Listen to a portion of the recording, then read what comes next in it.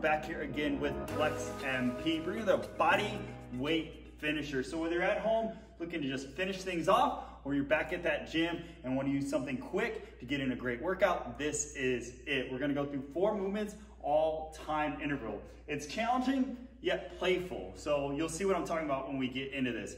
We're gonna set a clock. We're gonna give some options below. For me, I'm gonna do anywhere from 50 to 60 seconds with 10 to 15 seconds of rest. First one, broad jump to reverse bear crawl. Looks like this. Drop quick and then bear crawl back. Show you that again. Now a modification could be no broad jump, just a squat jump, and then actually just do that bear crawl. Second one is these Muay Thai push-ups. So you're gonna get down to that push-up position, drop, and then explode up.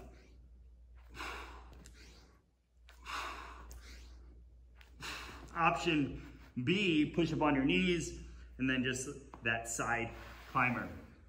Third one, ninja roll up to a tuck jump. So this one, drop down, use those abs, come up. Show you that one again, drop down. Option B could be where you just go down, squat, kick up, and just stand up as best as you can. And then our fourth and final exercise is a moving spider push-up.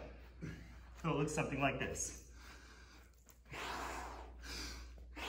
Make sure you're breathing during all this. And then you just go backwards, reverse, reverse. Now, you could just almost do a crawl for an option B. You could also, again, do some kind of push up on your knees and then drive that knee in. So just some few options there. Now, if you need more modifications, more personalization, more customization, click that link below to set up a free training session with us today on how to move better, live better, and feel better.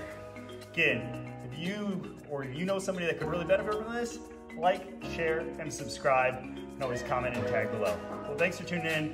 As always, take care.